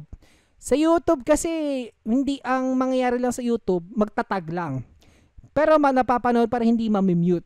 Unless kung talaga may violation na talaga. Ang mangyayari lang, hindi ma-monetize. Unlike sa Facebook, i-mute talaga ni Facebook. Ipa-partially mute or isasabihin niya, i-delete mo to or magsasabit ka ng dispute. So there are um, two kinds of uh, sa piracy. Bootlegging. Um, the un- unauthorized recording and distribution of live or broadcast uh, performance. Uh, madalas to sa atin, 'di ba? Gusto natin mag-cover na mag uh, uh, mag-distribute ng mga music of kakata ng um, Dynamite. Okay na tayo background music pa mismo ng minus one. Of course, binablock na agad ng FB kasi wala kang authorization para gawin yon. Tama? Ito naman, counterfeiting is the authorized copy of the material support tables, artwork, and packaging. Ito naman yung, for example, meron kang, bumili ka ng, ito, for example, si Laika, bumili, or si Trisha, bumili ng BTS latest album. Ayan. Siyempre, wala masyadong album na bibili sa Pilipinas. Bumili pa sila sa South Korea. Siyempre, may kopya sila. E di ito ginawa na itong mga to. Siyempre, sinave mo sa computer. Dapat per personal use lang yon. Siyempre, yung digital. Siyempre, kung bibigay mo man, siyempre, hindi dapat binibenta. Kunyari, sabi kaibigan mo lang, sa isa mo lang kaibigan, bibigyan mo lang kopya. Pero kung gagawin mo, i-burn mo na, or ibebenta mo online, at maraming nakakantig sa'yo, Uy, magkano BTS? For example, ang bili mo sa Korea is $25. Uh, $25, sabihin na natin na mga nasa 1.5. Eh, ang patong mo, 3,000. Ah, kita ka doon. Tubong lugaw ka, binenta mo. Eh, kasi walang distribution. Eh, maraming nakaantig sa'yo.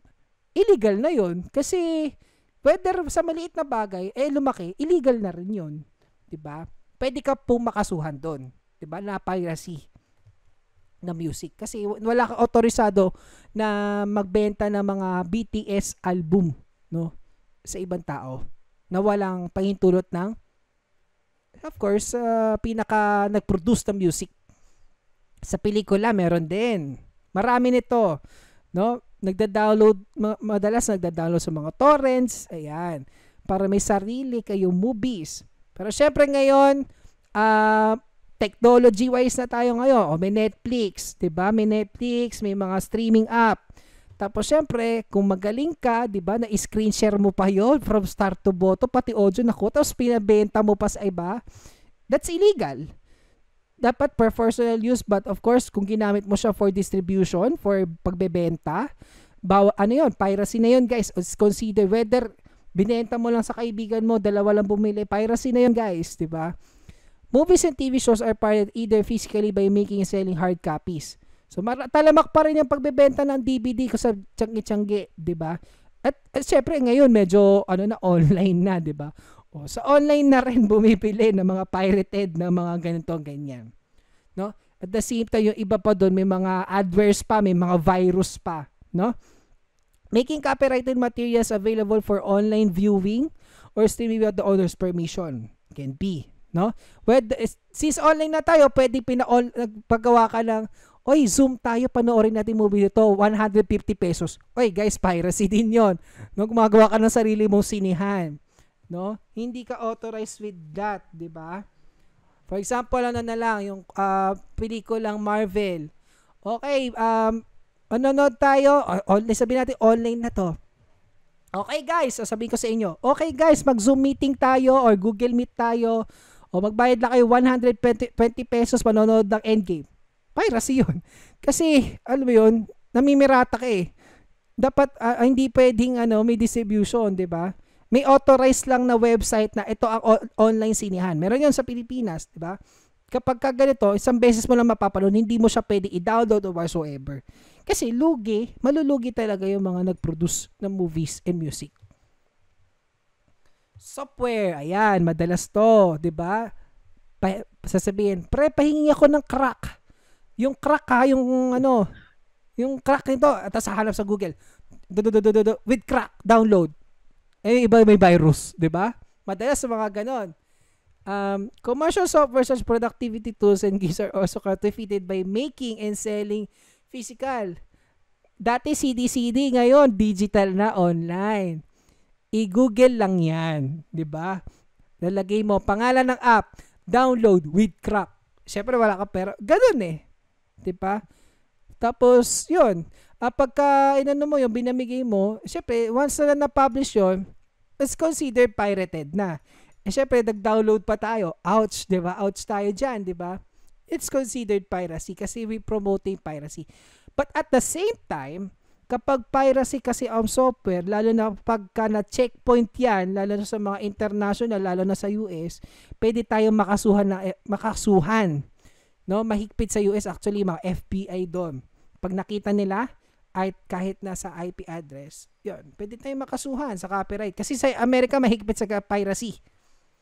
Unlike dito sa Pilipinas, hindi ganoon ka-strong yung ano natin sa piracy. But of course, um, still uh, pinapaigting pa rin ng government na anti-piracy na gumagawa pa rin na para na maiwasan ito. So, the, in the Philippines, we have the Optical Media Board. Uh, this is the Philippine government that's part of the Office of the President. It's responsible regulating the production and distributing recording media in the Philippines. Are you familiar na sa mga article na nire-raid ng mga o, na OMB na yung mga pirated DVDs, kung may napapanood na kayo noon na article na balita.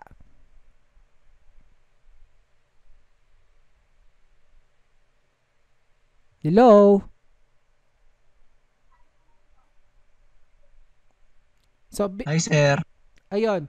So, doon, kung may nababalita na kayo noon, of course, si OBM, uh, ah, OM, sorry, OMB ang namamahala doon. No, sila yung frontline kapag ka pag may mga pirated DVDs, pirated materials, even yung pirated equipment, for example, PC, yon sinasama yon sa confiscation. No? Lahat ng mga ginagawang pamimirata. Kung meron kayo production house, lahat yon ire-raid. No? Alam nyo, um, lahat sila, nakain yata kayo ha, ang tahimik. Baka nga, no? Um, sila yung ano, talaga nagsisira ng mga Sila yung nag-advocate for anti-piracy na sinisira lahat ng mga equipment, materials na ginagamit sa pamimirata. Siyempre, nalulugi kasi yung mga producers ng movies, television, etc. So, in response, the popularity of video and DVD are early 2000. Usually, nasikat yung mga CDs. Subsequently, the vibes of the piracy such as CD, DVD, Blu-ray. So, Blu-ray, ito yung mga high definition. No? High definition ng mga movies na high definition na resol- ay, resolution ng mga screens na pwede. Yan, may, for, for, yan, may 4K na, di ba? It's conducted in the four numerous trades of free, excuse me, market stalls and similar establishments. So, marami na po ng mga nati- na pinatibag na, ng O- OMB. Okay? So, sa uh, Republic Act uh, 10, uh, 188 or consider as the Anti-Camcording Act of 2010. So sa lahat so lahat naman dito ay nakapunta na sa sine, 'di ba? Makikita niyo doon uh, recording of um, uh, using uh, mobile phones or any camcording devices is prohibited. 'Di ba? Nilalagay doon. And before mag-start yung pelikula, nag meron pang teaser, 'di ba? It's one or Opo. two minutes. Uh, kung, ma- kung nagsine na kayo sa SM, um, makikita doon yung eksena na nag, na, Yes nag, nag-camcord. Tapos, um, hinuli na pulis sa kipaghabulan. No, na, na, nahuli siya dahil na, ano siya, ng kamatis. May nagbe-vendor ng kamatis, di ba, nadulas siya. Apo, apo. So, rem- rem- remember that, no? So, it reminds na, na paglabag sa batas ang pamimirata at labag sa batas ang pagre-record. Any device. So, ang tactic niya, nandun sila sa likod. Madalas sa likod sila. So, gumagamit sila ng cellphone or any camcording na hindi mahalata. Kaya kung napapansin nyo, sa sinihan may mga security guards. So, lahat sila nagro-rove from time to time. So, para makita, kahit nga mag-picture, bawal eh. Picture lang ha, bawal. So, recording pa kaya, ba? So, i-penalize the out- unauthorized use, possession of control of audiovisual recording device. So, pinagbabawal. Kaya minsan yung mga DVD tayo, ang pangit naman ng quality to, the record lang sa sine. Sino na naka-encounter nito? Bumili kayo ng Ako, CD, sir. tapos nakita nyo, Yung nung- umaalog pa yung camera. Oo, maalog pa yung Tapos camera. May, anino. may naglalakad sa harapan. may anino. May anino, may nagsasalita pa, di ba? May, may, shh, may gumagano pa. Kinakabahan. Oo. di ba may mga, Kinakabahan sila. Siyempre, ano naman yun, di ba? Medyo parang pagpapawisa ka sa lamig, di ba? So, may ganun, di ba? Parang ano lang yan eh. Di ba pagka... Papawisan sa kaba. Oo, nilamig ka sa kaba eh, di ba? Yung malamig naman doon sa sinihan, sobrang lamig, pero pinagpapawisan ka. Pero syempre, um, may mga nagro-robe na rin na security para maiwasan na nga yung mga ganun. And may, may mga nauhuli na rin doon. No? Eh, syempre, may iba na nakakalusot pa rin talaga. Even yung sounds, no? Tinitignan ng mga pulis yun. And pwede kasi makasuhan. Actually, 100,000 to 250,000 pesos ang danyos. At may kulong yun, guys. So, kung kahit one minute lang na record mo at napatunayan yun, syempre, ano na yun, kukulong ka, syempre, idadaan yan sa korte. Depende doon sa ginawa mo kung magkano yung idadanyos. Syempre, laking kalugihan ngayon sa movie ah, movie producers na nagsikap, nagdugot pawis na naggawa nito, di ba? Napaka-unfair yun sa kanila. Tapos tayo, manon, dahil lang doon, magre-record lang tayo for our own. Syempre, ang, ang intention na yun, ibente. Kaya ka nga nag-record kasi ibebenta mo. Lalo na kung sikat na sikat na movie yan na talagang inaabangan yung can afford, can't afford, 'di ba? Syempre unfair 'yun. Kaya tinatag yung RA 10188 or Anti-Camcording Act. So wag niyong gagawin to, guys, no? Kasi talagang manganganib ang buhay nyo. So, ayan, sabi ko nga, a person find guilty, 50,000 but not exceeding 70, ay sorry, 7 750,000 pesos. Tignan mo, for example, 1 minute, 2 minute, or 10 minutes yung na-record mo, magdadaan nyo sa, for example, 300,000. Saan kukuha ka ng 300,000? Samantalang ang kinakain nyo lang sa araw-araw, minimum wage earner.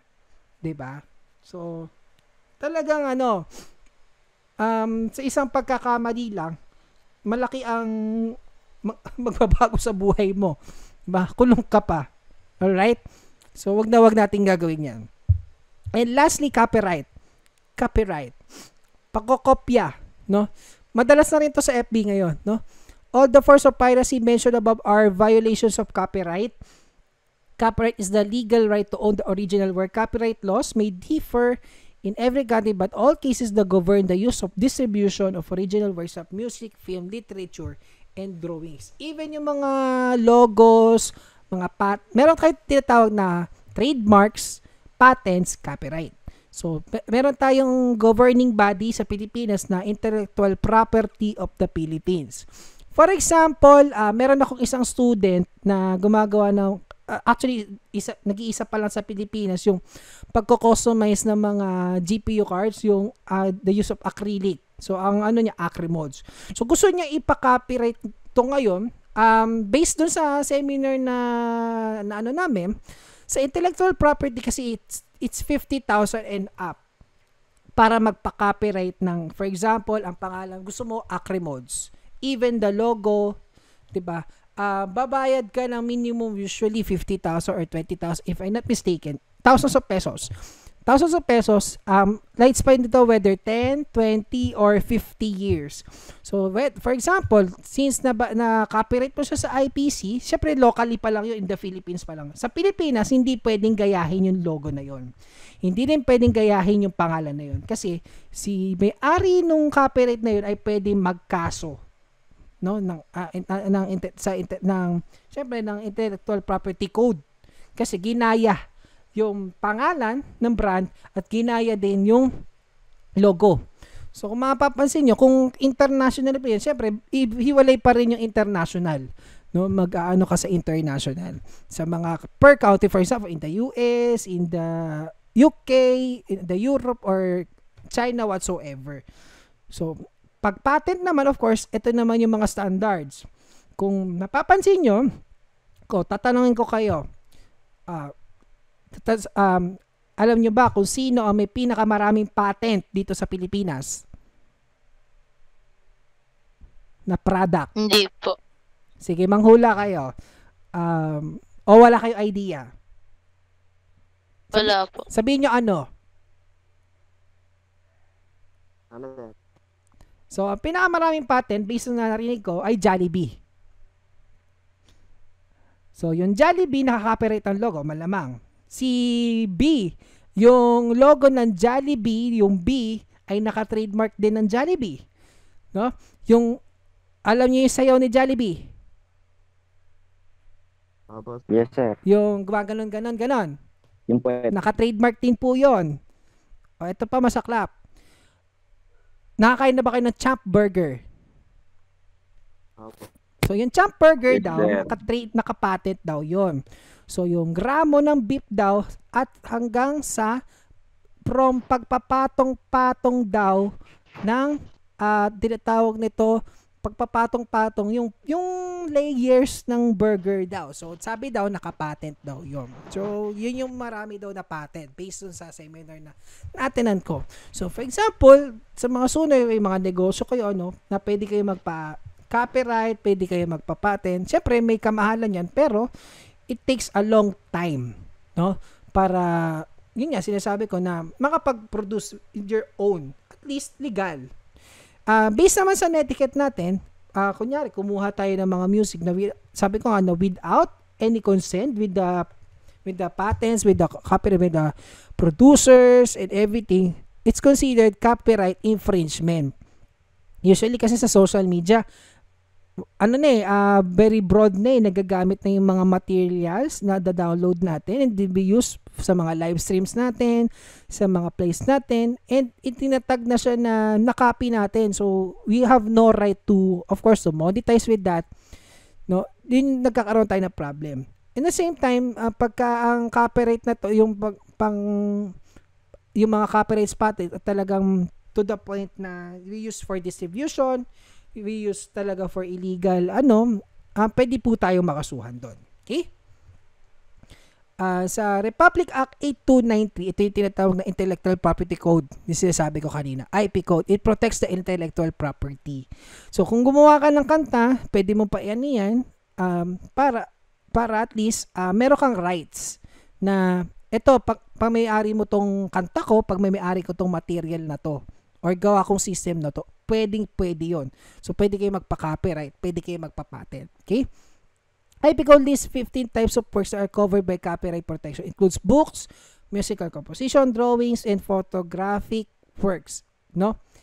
Um, under yan ng IPC no intellectual property kasi digital yan eh digital na po lahat yan syempre mga logo kasama na rin dyan when it comes to the businesses no uh, pwede niyo puntahan ang intellectual prop- uh, property code. Pwede niyo basahin yung batas na yan para maging aware kayo. No dapat may alam tayo. So alam niyo dapat yung anti-cybercrime act alam niyo dapat anti-crime coding alam dapat din natin intellectual property code.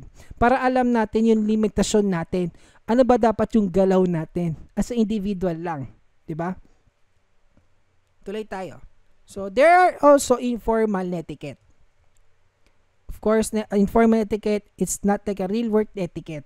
But these are guidelines that may be imposed by law but are expected to be followed by anyone. Parang ano lang to.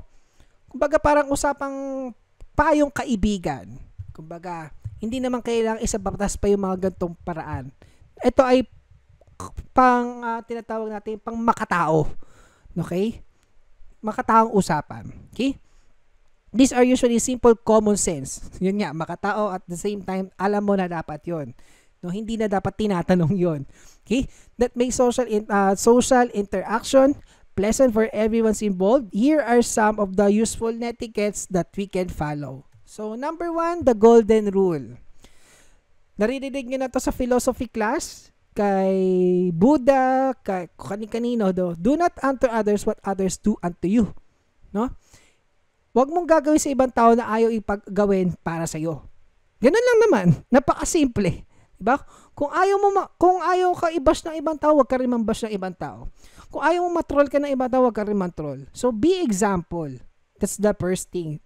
To be an example to other people. No? Even the internet still a good practice to treat others with the fairness and respect that we expect to receive. Diba? Pero syempre, alam niyo naman, may mga pagkakataon talaga na hindi natin inaasahan. Hindi naman natin ginawa, pero ginawa sa atin ng tao. And eventually, gagawin, gagawin ng ibang tao yun sa kanila. Kasi di ba may tayo tinatawag na karma. Sinasabi nila may karma daw, no? But uh, the same way, the other perspective na nangyayari talaga sa buhay. Kapag may ginawa ka, ito rin yung babalik sa'yo.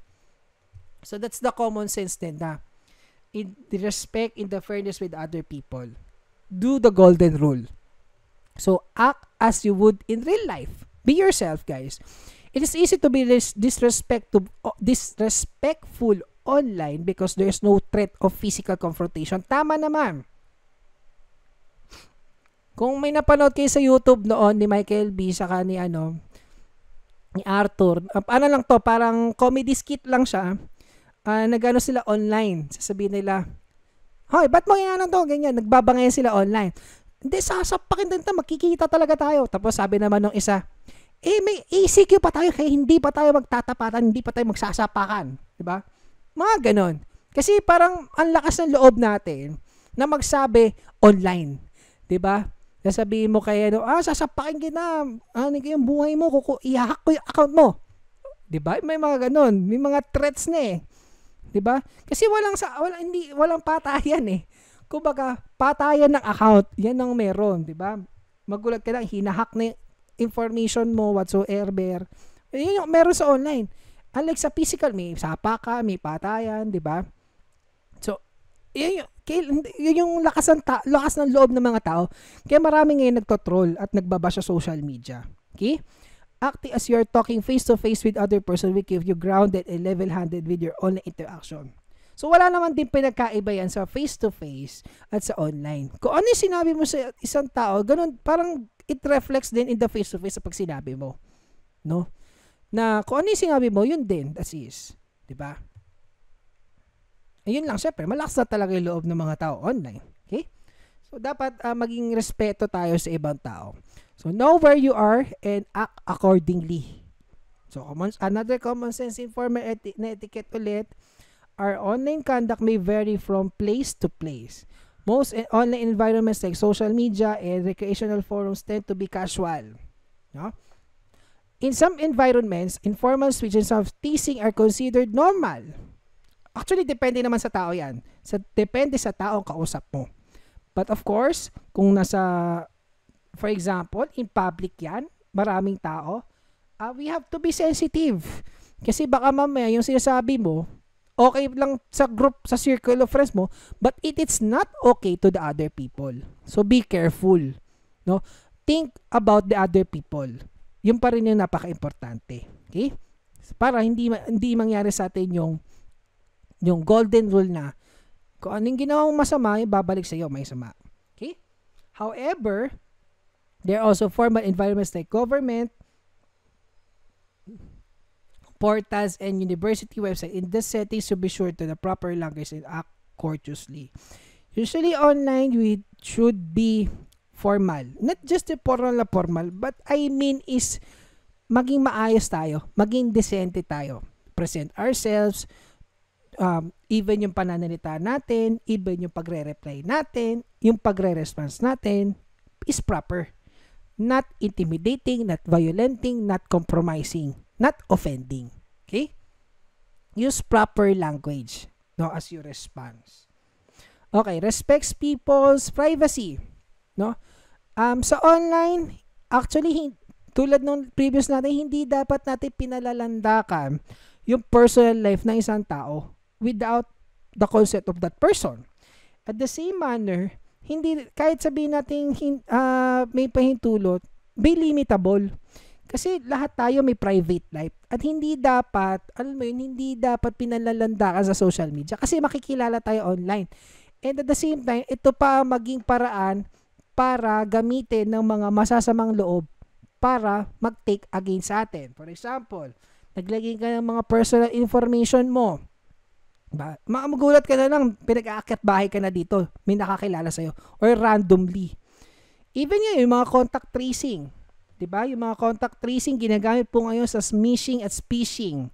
Ito yung text na ganito kasi may mga establishment na improper yung handling ng mga information dahil meron po tayong Data Privacy Act. So sinasabi sa Data Privacy Act, within 30 days upon the date na nag-register ka ay forfeited automatically itatrash automatically. Pero syempre, may mga tao, sinisave ito, no?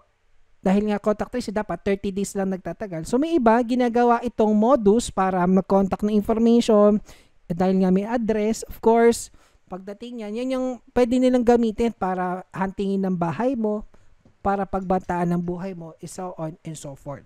Okay? Privacy is probably a bigger the internet that is in the real world, mainly because it's easier to invade someone's privacy online no? Um, to avoid communicating with people in ways that are intrusive and overly demanding. Kaya yung mga kausap nyo, ingat-ingat din. Uh, hindi, may lalo na kapag ka mga account details, sabi ko nga last meeting, 'di ba? Hindi tayo dapat nagbibigay ng personal information natin. Kung sa tingin niyo ay very suspicious yung mga tao. Sabi ko nga, nakwento ko nga, 'di ba, kung pera 'yan. Hihingi niyo account number, hihingin yung PIN number, hihingin yung nasa likod ng debit card o credit card. Pag binigay mo yun, sira ang buhay, sira talaga buhay mo. Bakit? Kukunin lahat ng pera na meron ka. Hindi lang yon pati information mo nakuha lang. Hindi lang pera yon guys, pati pera, pati information mo. So, ingat-ingat din. Even pag share ng mga ano natin sa social media, yung mga personal natin na ano. So, iwas din. Kasi, um, pwede itong gamitin ng ibang tao. At even magkwento ng ibang tao, ng private life ng ibang tao. Iwas-iwas din. Okay? So, respect each other's properties. Um, kung may mga materials tayo, we have to credit to them. No? Or no copyright infringement intended.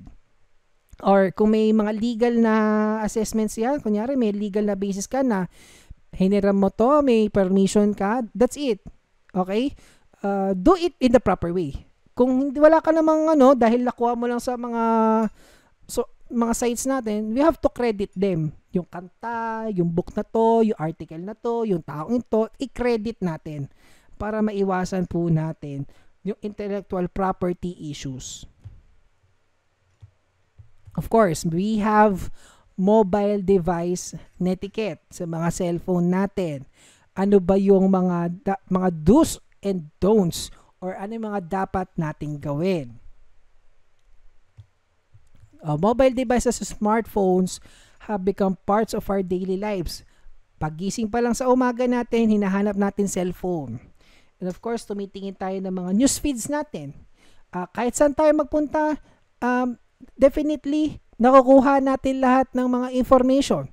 At the same time, tayo nagre-response din. 'Di ba? Nagsi-share tayo, nagko-comment, nagre-react, lahat ng ginagawa natin to interact with other people. These handy gadgets had many useful features at internet access, playing music, videos, and games, pictures and videos, making, receiving calls and texts. Yun naman ginagawa natin. Okay? Their e compact and lightweight designs are able to use them practically anywhere, it, eh, everywhere.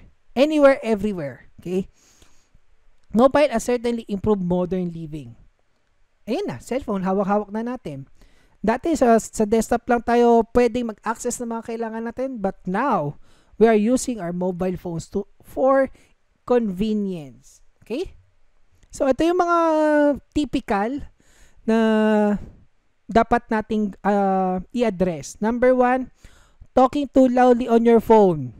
Madalas tumatawag tayo sa telepono natin, malakas yung boses natin. And maraming tao nakapaligid. Eh, paano kung nasa opisina ka pa or nasa classroom ka pa? So, it's compromising. It, you disturbing the class, you're disturbing your workmates, and disturbing other people.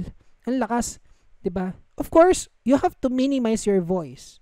Kung di mo maiwasan, humanap ka ng pwesto. 'Di ba na walang tao? 'Di ba na magkakaintindihan kayo. Okay? But of course, the the first aid natin dyan, hinaan yung boses natin, kumausap tayo na maigi, na hindi tayo nakaka-istorbo sa ibang tao. Okay? Parang consenter lang yan. Huwag mo masyado lakas yung boses mo kasi may kausap din yung ibang mga callers.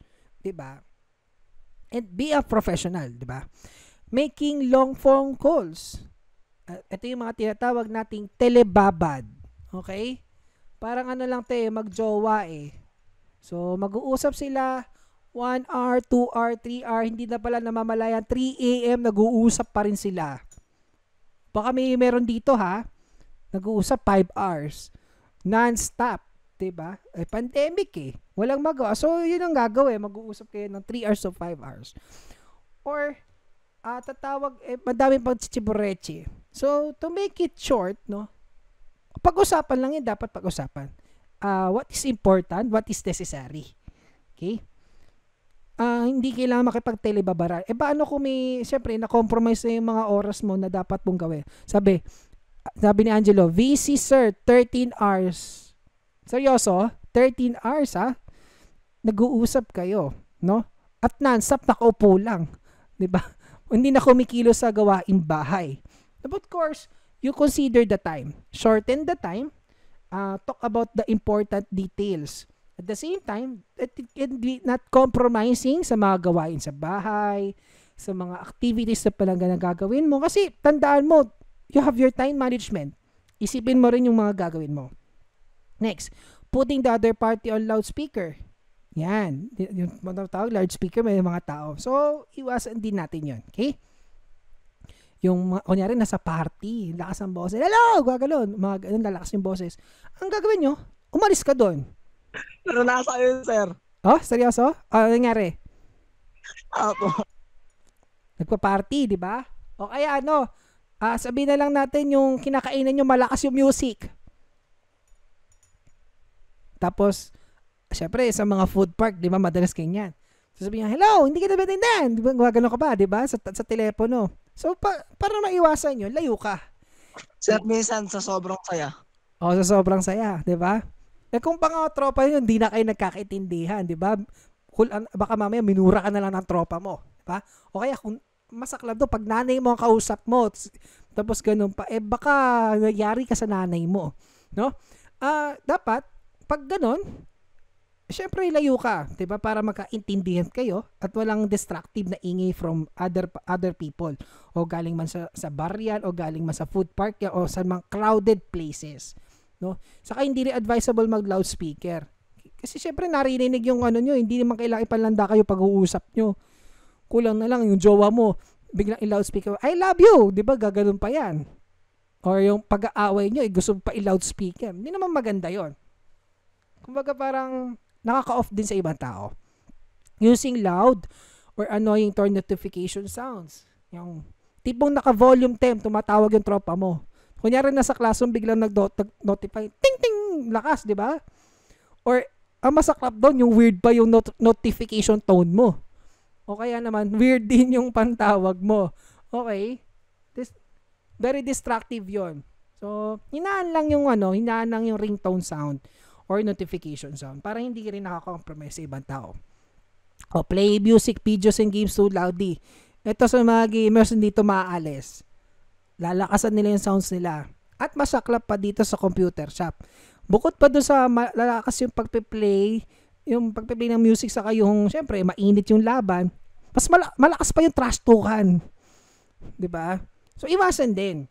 Eh, paano na kung nasa sa bahay ka, 'di ba? Nako baka mamaya nako-compromise man na yung mga nanonood ng TV, yung mga nag-online kasi nagre-review. Parang ano lang to yung nagkakaraoke, no? Iwasan din, no? Hinaan or hangga't maaari may oras lang, may limitasyon. Taking pictures or videos of live performances. Uh, may mga iba kasi na nagpo-prohibit na mag-take ng mga videos sa live performance. Siyempre, it compromises din naman sa mga artists and may mga authorized lang na, you know, authorized lang na dapat mag-record. Na, napapanoorin nyo na lang dapat. May mga ganon. Kapag ka, malalaman nyo kung may mga rules naman. Kung bawal, bawal. Kung pwede, pwede. Walang problema yon Using your phones in cinema. Sabi ko nga kanina, di ba may anti-camcording. Kahit sabihin mong nagpicture ka lang, pwede kang i-akusahan. Alam mo naman mga tao, di ba? But of course, record or take a picture in the cinema is not allowed. But also, using your phone, destructive din yun. Kasi yung ilaw, di ba? Kung walang ilaw, syempre, kung magsi-CR ka or lalabas ka, may hinahanap ka, make sure lang na hindi nakakompromise yung ibang tao. Syempre, nanonood yung ibang tao, tapos may ilaw, di ba? Ang pangit naman tignan. Taking videos or picture without asking permission. Hindi dapat basta-basta nagtitake ng pictures, nagtitake ng videos without the consent of the person. Baka, 'di ba? Pag kumuha ka ng video, maalarma mga tao sa iyo. 'Di ba? Uh, depende 'yan. Depende pa rin 'yan, no? Pag hindi ka pinayagan, wag. Respeto rin sa privacy. Pero kung kunyari, mga crowded, kung kailangan mo sa mga materials mo, walang problema as long as na without compromising everybody. Okay? Using your mobile, kasi may iba din naman na, kunyari sa crowd ka mag-shoot, may iba may mga permits pa yan. Okay? Uh, using your mobile device while waiting in line. May mga ganon, nakapila. Tapos hindi mo na namalayan, ang layo na pila, kinalabit ka na nung nasa likod mo. Oy, ginanong ka na, ba? Diba? Mga ganon. Uh, using your mobile device while driving. Ito, bawal na bawal. Don't text while driving. Don't take calls while driving. And don't use your phone while driving. So, meron din tayong batas na Republic Act 10913 or tinatawag na anti Anti-Driving Distracted Act of 2016. So, dito yan sa Metro. Siyempre, nationwide na yan, pero mas mahigpit sa Metro Manila. Of course, pag nakita nila na sa kotse, kahit sa kotse, wala naman nakakitang mga mga red boys, mga blue boys, uh, mga traffic enforcers, no? May CCTV. So, pwede lalo na sa MNDA. So, sa, sa command center, kaya nilang i-zoom na nakikita ka nila. Siyempre, sa kasakyan, pag nakita ka ng sasakyan habang naka-stoplight or nagda-drive, kukunin ang uh, drivers, ay uh, kunin yung plate number mo at magugulat ka na lang, meron ka na palang violation. Okay? Pag hindi ito na, na bayaran, no, siyempre, pwede kang makasuhan. Unless kung may emergency purposes. So, syempre may mga evidence for that. And lastly, ito na. Using your mobile device while walking. Ito may marami. Nakatingin lang doon. So, sa gulat na lang may nakabanggaan. ba? Hindi mo na namamalayan, 'di ba? Na be mindful pa rin dapat sa surroundings mo. Siyempre, naglalakad ka sa daan. Kasi pwede kang manakawan. Pwede kang madisgrasya. Yun lang naman yung dalawa dyan. Whether madukutan ka o makabangga ka o ma, ma madisgrasya ka o mapunta ka saan saan whatsoever. 'Di ba? Unless na lang kung medyo positive 'yan, nagse-cellphone ka. Parang sa pelikula, nagse-cellphone ka tapos bibiglang pak may bumangga sa'yo tapos yung bumangga sa'yo whether maganda o pogi uh, ano ka na ah solve lang ang araw mo, no? Well, sa pelikula lang yun. Forever. Oh, naghanap ng forever sa kabanggaan habang nagsa-cellphone.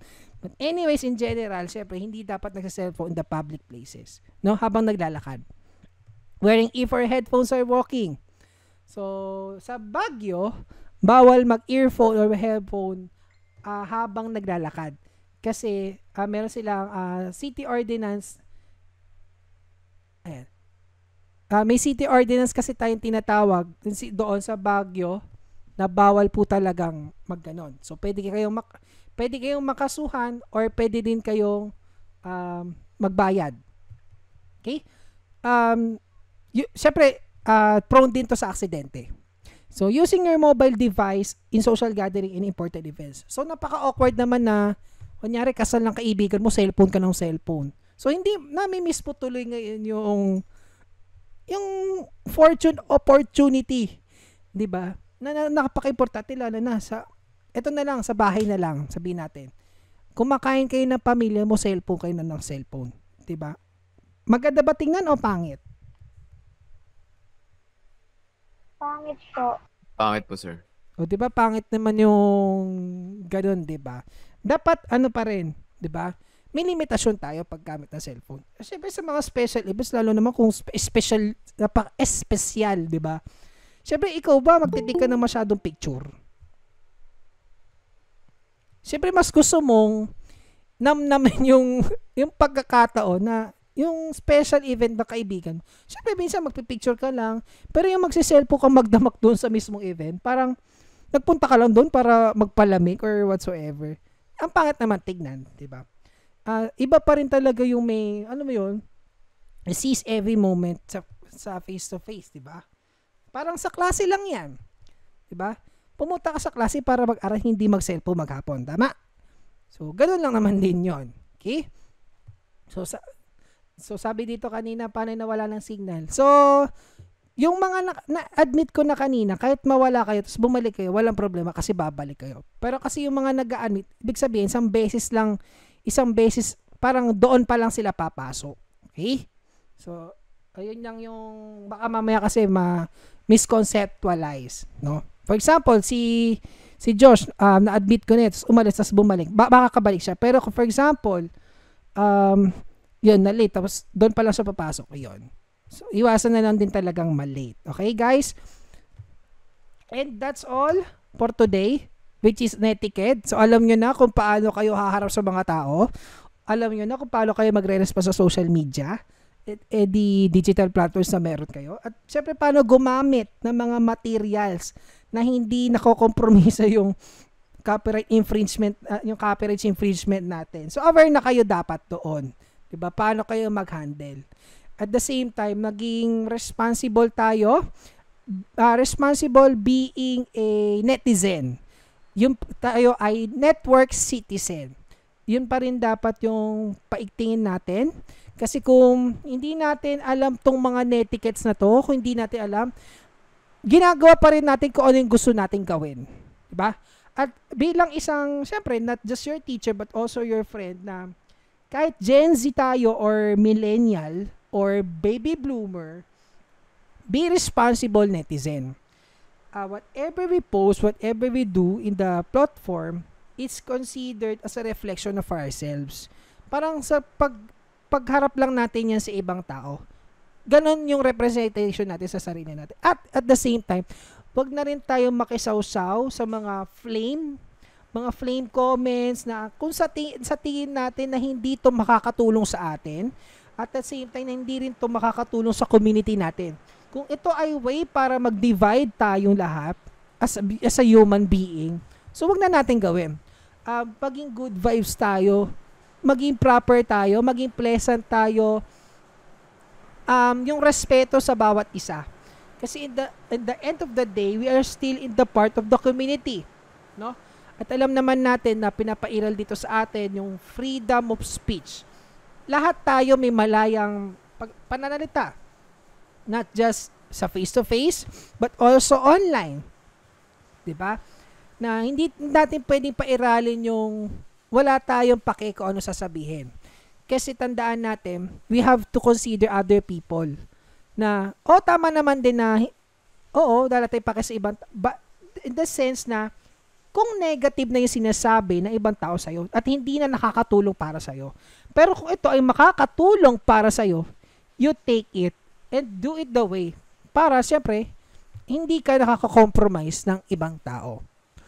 Yun yung maganda tukuyin dito when it comes to the etiquette. How we properly respond to this attitude. It is different kinds of attitude uh, and in the digital platforms. So, do you have questions, guys? Wala na po, sir. Wala na. Wala na po. Oh, pero alam ko mas maraming violent reaction kasi maraming aray ko po, tama. Opo. 'Di ba? Maraming aray, 'di ba? Maraming violent reaction. Walang walang question pero violent reaction. But syempre, yung mga kwento nyo, 'di ba? Na maging isa yung mga nagkwento kanina, it's been a lesson for us na at, at the same time ngayon medyo naging matapang tayo na hindi na natin to pinapatulan dapat, maging strong person tayo, um, maging maayos response. Kung hindi tayo kasi sumabay doon sa sakay nila, ibig sabihin, um, kumbaga, you are doing your proper etiquette na hindi patulan yung mga tao, alam naman natin na hindi naman totoo. Or ano, ito yung mga sinasabi ng ibang tao sa atin. Even sa fake news, 'di ba? May nakikita tayo fake news, hindi um dapat may response tayo. Of course, dahil internet credible source. Tingin ka ng mga resources. Sa tingin mo ba totoo? Sa tingin mo ba hindi? Para sa gayon, nakikita mo na ito, nanggaling ka lang dito sa mga gantong factors. Hindi ka nagbase sa sarili mong perspektibo, whatsoever.